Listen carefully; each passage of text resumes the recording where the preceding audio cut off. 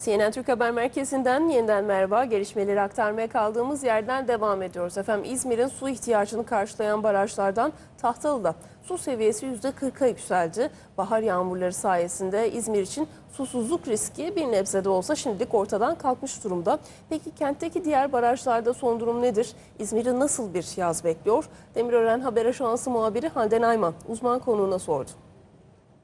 İzmir'in en önemli su kaynaklarından biri olan Tahtalı Barajı'nda aktif doluluk oranı yüzde 40. Yani Tahtalı Barajı'na hiç yağmur yağmasa dahi 10 ay yetecek kadar su bulunuyor. Aslında oldukça kurak bir kış mevsimi geçmişti İzmir'de. Ancak bahar yağmurları 10 günlük su getirdi. Şimdi barajlardaki son durumu konuşacağız. Yanımızda İSSU Su Arıtma Dairesi Başkanı Hakan Alp Soykan var. Evet barajlardaki son durum nedir?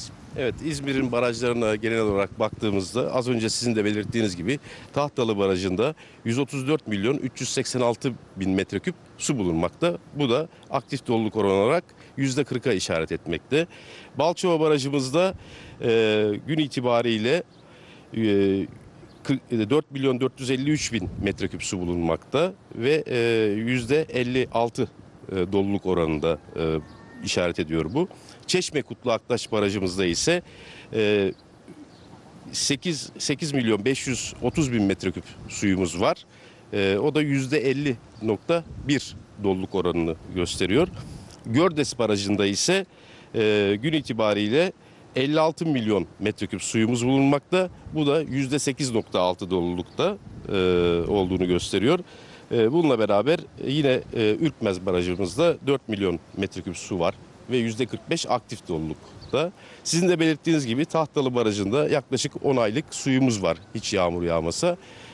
Az önce de dediğiniz gibi İzmir'in en önemli su kaynağı Tahtalı Barajı ve e, bu sene son 23 senedeki e, su doluluk oranı olarak e, en kötü 5. sene. Yani bundan daha kötü 4 senemiz e, bulunmakta e, kayıtlarımızda. E, biz idare olarak e, özellikle su dağıtım planlamasını e, yeniden revize ederek işte e, bir miktar e, Gördes'ten almaya başladık suyu ve yeraltı sularımızı biraz daha oranını arttırdık.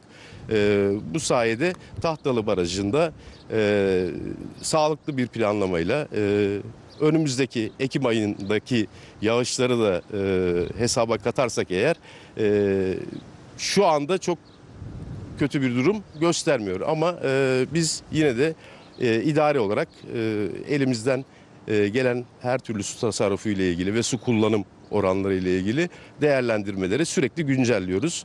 E, bu yönde çalışmalarımız var. Peki bahar yağmurları ne kadar su getirdi?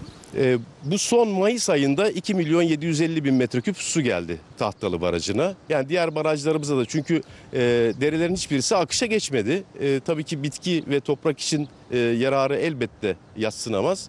E, ama barajlarımıza e, dedi- siz de az önce dediğiniz gibi 10-15 günlük bir su getirdi Tahtalı Barajı'na.